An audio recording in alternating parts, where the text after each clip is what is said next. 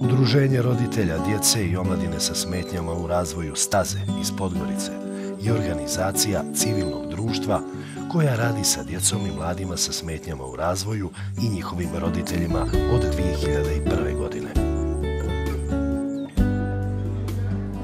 Naša filmska ekipa imala je privilegiju da provede dio vremena sa Katarinom i Ismarom iz Pljevalja, Anom i Idom iz Bijelog polja, te Gordanom iz Herceg Novog i njihovim roditeljima, prijateljima i predstavnicima lokalnog obrazovnog sistema sa ciljem da isprate proces njihovog izbora buduće srednje škole, a kasnije i procesa adaptacije. Naša kamera svjedok je jednog pionirskog projekta, naredne stepenice inkluzivnog obrazovanja koje se do sada završavalo osnovnom školom, a sada se hrabro krenulo ka podizanju standarda i otkrivanja mogućnosti koje mladima sa posebnim obrazovnim potrebama i njihovim roditeljima nude srednje škole sa svojim kapacitetima i profilima.